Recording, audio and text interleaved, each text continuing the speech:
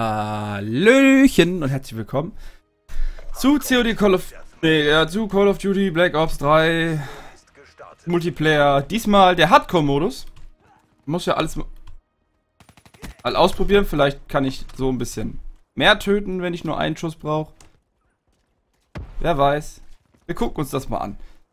Also, ähm, ja, Hardcore-Modus ist halt, glaube ich zumindest, alles mit einem Schuss töten. Also Real-Life-mäßig, ne?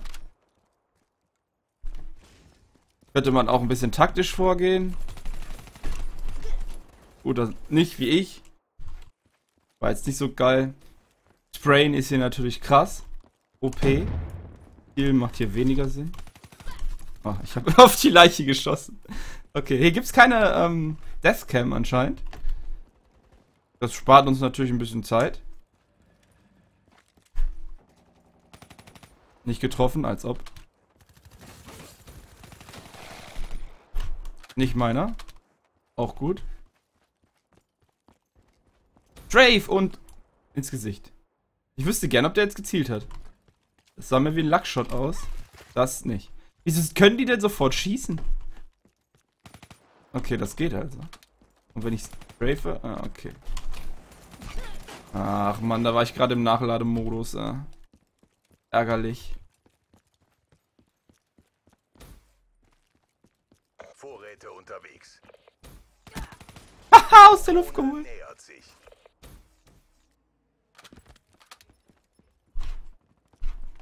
Okay, hier rauf. Snipern ist hier natürlich übelst OP.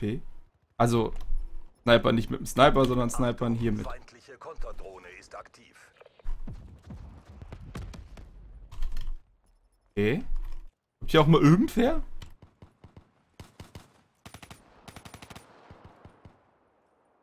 Geh. Ich finde geh nicht. Nein, nicht schreiben. Wow, ich hab's überlebt. Nice. Nice. Aha. Okay. Und wo auch immer der war. Natürlich weiß, kann man hier niemanden als... Woo! Ja, Sperber macht irgendwie keinen Sinn hier. Weil erhöhter Damage ist mir egal, ich brauche nur einen Schuss. Straven! Oh, fuck! Ich hab nicht dran gedacht, dass da eine Klippe ist. Verdammt! Das hätte ich jetzt auch gerne in der Rückblende gesehen.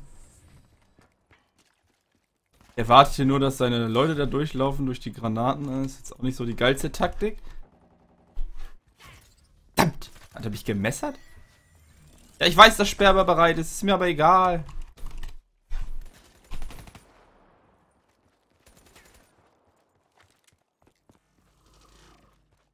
Guck hinter dir. Keine Angst. Was?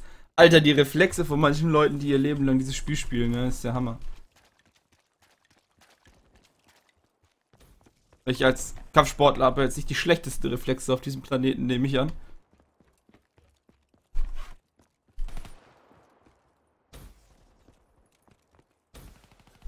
Ein Grund, warum ich das spiele. Reflexverbesserung. Gehört, das soll funktionieren. Warte, jetzt fängt es an zu ruckeln etwas. Alter, was soll denn der Scheiß?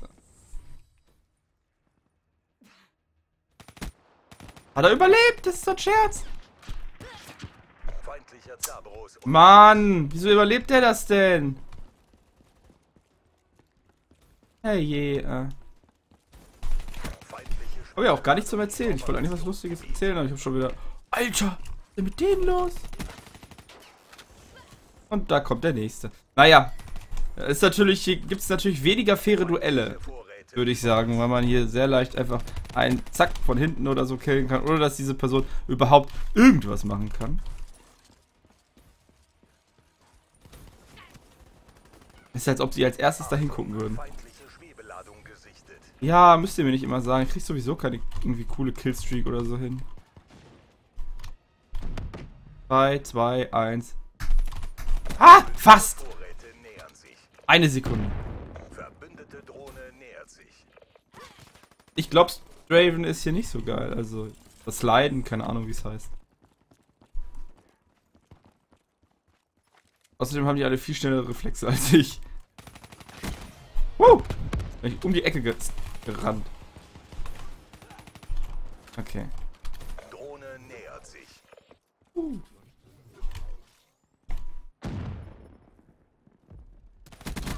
Okay, die Dinger sind natürlich ein bisschen OP.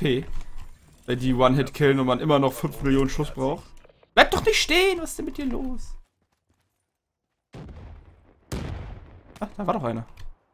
Nee, ist einer von uns. Dachte ich. So. Sind wieder in der Mitte. Gleich. Sehe ein Geleuchte. Weg von der Maschine. Tödliche Präzision. Hört mich doch nicht so. Hm, natürlich von da. Ah. Okay, komischerweise habe ich jetzt auf jeden Fall mehr Frames als im ersten, äh, weniger Frames als im ersten Video. Nein! Warum? Ich bin doch dagegen gesprungen. Gott, wieso?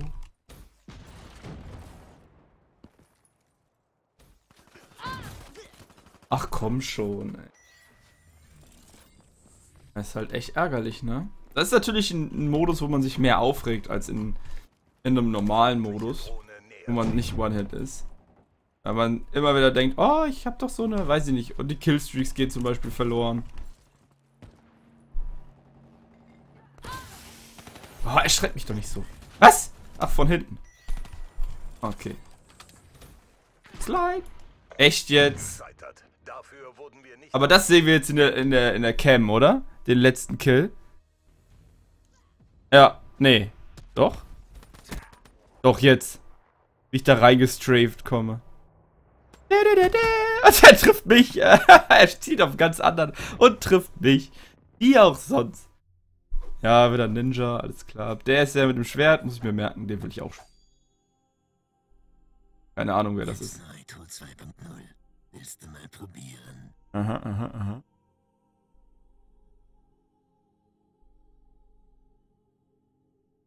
Dreizehn, 21, wir werden nicht besser. Immer noch 0,6. Hm. Ja, es liegt an den Waffen. Ist die Frage, ob hier vielleicht sogar die Schrotflinte auch besser wäre, wegen der Streuung und ich so mehr treffe. Also, Waffen wie Sniper oder so sind nicht so geil tatsächlich, weil du eine geringe Feuerquote hast. Opera Level 7. Extra Gear, Wildcard, freigeschaltet, Token Klasse 3. Äh, irgendwelche EP-Dinger, Nachtragen, 10 Gelder-Medaillen, äh, Medaillen, keine Ahnung. Und eine Tarnung. Langweilt mich. Ich will doch sowieso hier nichts freischalten. Ist Doch gut. Ich hätte zwar eine, gerne eine coolere Waffe, aber. Moment mal, wir gehen mal in den Klasseneditor. Kann ich jetzt nur hier irgendwie? Zurück. Jetzt könnte ich hier irgendwie die Waffe kaufen, nehme ich an. Kostet ein Freischalttote. Freischalten und ausrüsten. Noch irgendwelche Aufsätze? Kann ich noch irgendwie Aufsätze? Nein, gibt es nicht. Muss ich erst freischalten. Okay, wir versuchen es mal mit dieser Waffe. Ob wir da im Hardcore-Modus krasser sind oder nicht. Ich denke eher, oh cool, ein Level 774er ist ja absolut kein Problem. Da würde ich auch Public spielen und nicht irgendwie mir langsam mal einen Clan suchen oder so. Naja.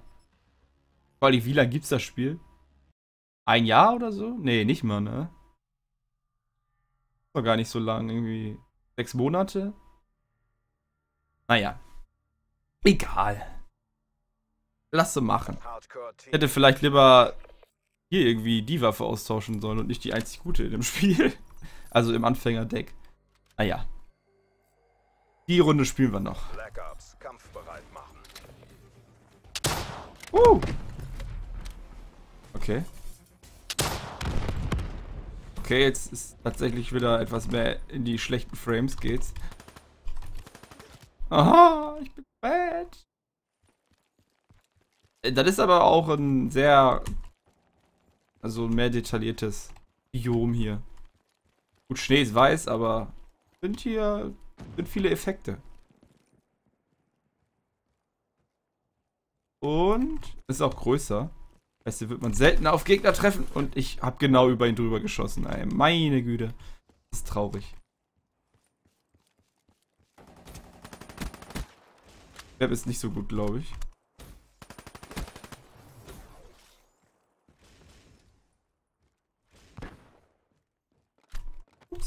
Er lädt erstmal nach. Ich kann nicht drehen. Kann mich nicht drehen. Oh Gott, ey.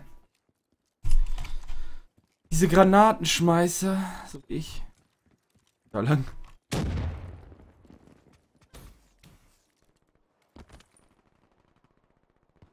Ah. Bin hier hin. Wo sind denn hier die Gegner? Oh, schönes Schlafzimmer. Was? Ich dachte, er ist am Nachladen, der hat aufgehört zu schießen. Ich dachte, ich könnte ihn schön langsam wegaimen.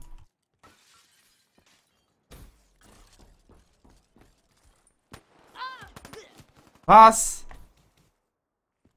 Von links oder von wo? Bin ich ganz sicher. Irgendwie sehe ich hier nicht so gut auf der Map. Bin hell. Und dann geht's ähnlich. So. Weniger Rennen.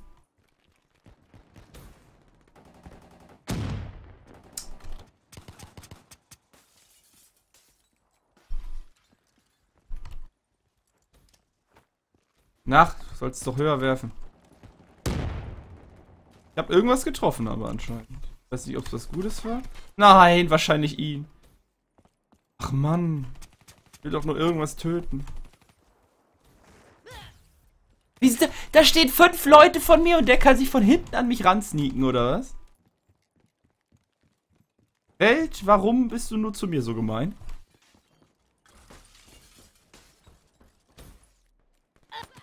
Ach, das ist doch nicht wahr, ey. Ich komme zu gar nichts. Gib mir doch irgendwie irgendwen irgendwann mal. Nein, in dem Moment springe ich da runter, ey. Finde die Waffe übrigens nicht so gut. Was?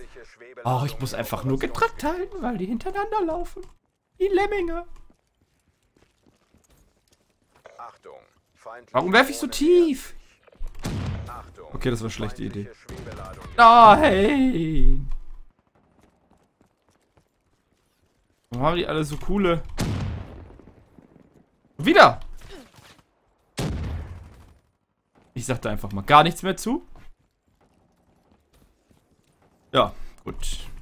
Stattdessen erzähle ich, weiß ich nicht. Ich war letztens beim, ähm, nicht Moonlight Bowl, wie heißt das? Äh, irgendein 3D-Brillen oder so. Da kriegt man dann 3D-Brillen und dann hast du ähm, auf dem Boden und an den Wänden und alles mögliche hast du, und auch tatsächlich auf der Strecke manchmal, hast du halt irgendwelche 3D-Bilder drauf. Also selbst gemalte tatsächlich. Zum Beispiel Drachen oder so. Ähm, und rennst halt die ganze Zeit zwar mit dieser hässlichen Brille rum, also mit zum, als Date würde ich nicht dahin gehen. Weil die echt scheiße aussieht. Aber ähm, tatsächlich mit Freunden und so ist es ganz cool so. Ist äh, relativ gut gemacht. Ist natürlich immer von. Habe ich jetzt einen Teamkill gemacht? Natürlich immer von äh, Dings, von, ne, sag schnell, von Platz zu Platz unterschiedlich. Also von Minigolfplatz zu Minigolfplatz, so, weil Verbindung, sie wurden rausgeworfen, weil ich jetzt den einen Teamkill gemacht habe. Echt jetzt? Okay, naja. Äh, wir sind wahrscheinlich eh bei 13, 14, 15 Minuten, keine Ahnung. Ich bringe schnell die Geschichte zu Ende. Also, äh, war, ist ja eigentlich nicht viel zu erzählen. Ich wollte eigentlich nur sagen, das war ziemlich cool. Mit diesem 3D ist auch ein bisschen, ähm, war auch Schwarzlicht dabei, also leuchtet man, wenn man weiße Klamotten hat oder weiße Zähne hat. Ähm, und äh, hat Spaß gemacht. Rennst da mit einem Bierchen rum, so, mit deinen Kumpels, wunderst dich über den 3D-Effekt. Man lästert über die anderen Leute, die schlecht sind in dem Spiel. Sowohl unter deinen Kollegen als auch bei fremden Menschen. Aber war ganz cool, ist eine lustige Abwechslung zum Minigolf-Spielen. Äh, dieses Moonglide-Minigolf will ich auch nochmal ausprobieren. Da ist, glaube ich, irgendwie komplett schwarz der Raum mit nur Schwarzlicht. Also kein anderes Licht zu sehen. Das ist, glaube ich, auch noch ziemlich cool. Das wollte ich jetzt auch mal bald ausprobieren. Da kann ich ja dann auch mal ein kleines Update zu geben, wen es interessiert. Ähm, aber das 3D-Minigolfen kann ich jedem empfehlen. Äh, die nächste, nächste Station ist dann wohl 3D-Polen. Das wäre dann auch cool. Und lustig. Da müsste aber ähm, jede Bowlingbahn ihren eigenen Raum haben, extra, dass, es, dass man das vernünftig an den Wänden und alles mitkriegt. Und auf der Bahn. Das wäre cool. Obwohl, wenn man die ganze Bahn komplett, also alle Bahnen nebeneinander, ein so ein riesen 3D-Bild hat, so weiß ich nicht, so eine Welle, die auf einen zukommt oder ein Graben oder so, wo man, der so abschüssig runtergeht, dass man denkt, die Bowlingkugel würde jetzt vielleicht, wenn man wirft, würde die diesen Graben runterrollen und nicht auf der Strecke weiterrollen. Das wär, hätte auch was tatsächlich, aber das ist natürlich ein, ein Künstler ganz schön gefordert bei diesem Unter Unterfangen, ein so riesiges 3D-Bild zu malen. Da kann man sich da mal schnell vertun. Naja, egal. Das soll es von mir gewesen sein. Ich hoffe, ähm, ihr hättet bei der zweiten Multiplayer-Folge von mir ein bisschen Spaß, auch wenn ich wirklich bad war. Wirklich bad. Ich glaube, ich stelle es wieder auf Ruckeln um, dann äh, bin ich anscheinend besser. Gut, okay, alles klar. Ich bin raus. Ihr bleibt artig und spielt nicht so viel COD, das macht dumm. Aber man kriegt schnelle Reflexe. Immerhin. Hat auch was Gutes. Also, bis dann. Tschüssi.